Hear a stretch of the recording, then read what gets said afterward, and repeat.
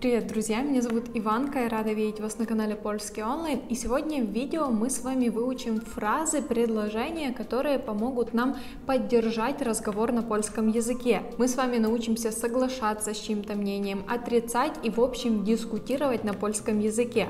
Поэтому, если эта тема вам интересна, тогда обязательно продолжайте смотреть. Ну а мы начинаем. Начнем с того, что мы будем выражать наше мнение. Например, можemy powiedzieć moim zdaniem.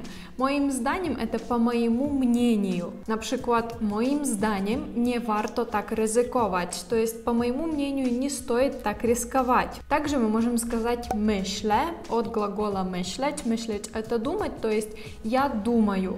На przykład myślę, że to świetny pomysł, то есть я думаю, это отличная идея. Мы также можем начать предложение с фразы особисто uważam, то есть я лично считаю, на przykład особисто uważam, że to jest najlepsze miejsce, то есть я лично считаю, что это лучшее место. А сейчас, друзья, я хочу напомнить, что у нас активная регистрация на онлайн-курс «Польский за два месяца». Это 30 видеоуроков, которые размещены на платформе, где мы разбираем с вами базовую грамматику и лексику польского языка. Э, все уроки уже записаны, проходить вы их можете в любое удобное для себя время, то есть если вы много работаете, э, вы всегда сможете найти каких-то 15-20 минут, чтобы зайти на платформу, посмотреть урок и сделать домашнее задание. Главное цель нашего курса – это научить вас создавать предложения на польском языке, абсолютно любые, во всех временах, э, и, конечно же, чтобы вы начали говорить на польском. Я учу вас на курсе ту информацию, которую мы даем в уроках, выводить в практику и использовать в своем языке. Поэтому, если уже через два месяца вы хотите начать говорить на польском, тогда обязательно переходите по ссылке в описании, мы также оставим для вас промокод, который дает 10% скидки на курс, Э, и обязательно-обязательно регистрируйтесь. Ну а мы продолжаем разбираться, как поддержать разговор на польском, поэтому возвращаемся.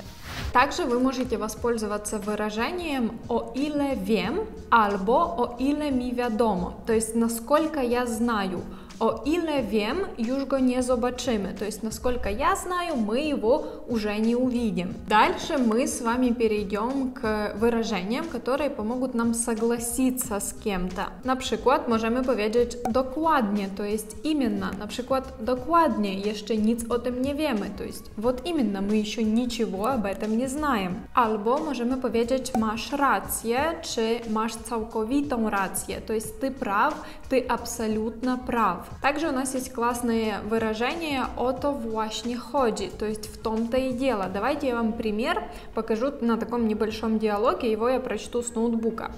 Ale ona powiedziała, że jutro będzie w Krakowie, a on zobaczył ją w Gdańsku i mamy odpowiedź o to właśnie i chodzi. To jest она сказала, что она будет в Кракове, он увидел ее в Гданьске. И у нас в ответ э, вот именно как раз об этом и идет речь. Как еще один вид соглашения с чем-то мы можем сказать «я не против». По-польску то będzie «nie mam nic przeciwko», то есть я не против, все хорошо. Если, например, мы хотим немножко подискутировать, либо выразить свое недовольство, можemy powiedzieć nie przesadzaj.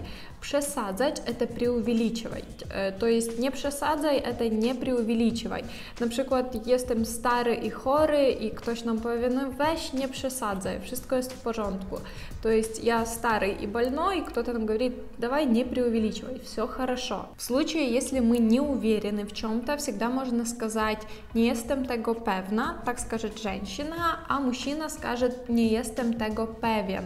Na przykład możemy powiedzieć nie jestem tego pewien, nie miałem zbyt dużo czasu, żeby to sprawdzić. То есть я не уверен в этом, у меня не было слишком много времени, чтобы это проверить. Дальше перейдем к блоку, когда мы совершенно не соглашаемся с нашим собеседником.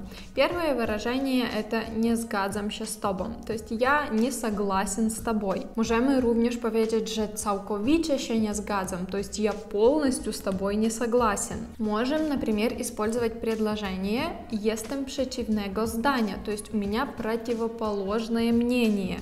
Powiedzieć, że to nie ma nic do rzeczy, то есть это не имеет никакого отношения к делу. Również możemy użyć czasownika sądzić. Sądzić – это считать. И jeżeli powiemy no nie sądzę, to есть я так не считаю. Иногда важно также добавить какую-то информацию, и вtedy możemy użyć na przykład warto dodać że, to jest стоит добавить что. Przykład warto jeszcze dodać, że on jeździł do mamy, то есть стоит еще добавить, что он ездил к маме. Мы также можем попросить кого-то рассказать больше подробностей. Wtedy powiemy, czy mogę prosić więcej szczegółów, to есть можно мне побольше подробностей, либо же сказать powiedz mi o tym więcej, to jest rozkaży mi об этом больше, albo zapytać, czy mógłbyś mi o tym powiedzieć więcej, то есть мог бы ты мне об этом рассказать немного больше. Если же, например, вам нужно поддержать какую-то дружескую беседу, чтобы разговор продолжался, вы всегда можете sпросить, co najbardziej lubisz, albo co najbardziej lubisz w czymś tam, w muzyce, albo co najbardziej lubisz w języku polskim, albo co najbardziej lubisz w swojej pracy. Również możemy powiedzieć, jak udało Ci się to zrobić, то есть как у тебя получилось это сделать. Тогда собеседник с удовольствием будет нам рассказывать. Я надеюсь, видео было для вас полезным. Не забывайте, что все эти фразы, выражения собраны в PDF-файлике, расписаны с переводами и примерами, поэтому обязательно заглядывайте в описание к видео, и там вы найдете конспект данного видеоролика. Если видео вам понравилось, не забудьте поставить лайк и подписаться подписаться на наш канал, это будет для меня безумно-безумно приятно. А если хотите каждый день со мной учить польский язык, тогда обязательно переходите в инстаграм польский онлайн. Там мы с вами в сторис и постах каждый день что-то новенькое будем изучать. Я благодарна, что вы досмотрели это видео до конца. Мы с вами увидимся уже совсем скоро в новом видеоролике. Желаю вам прекрасного настроения. Честь!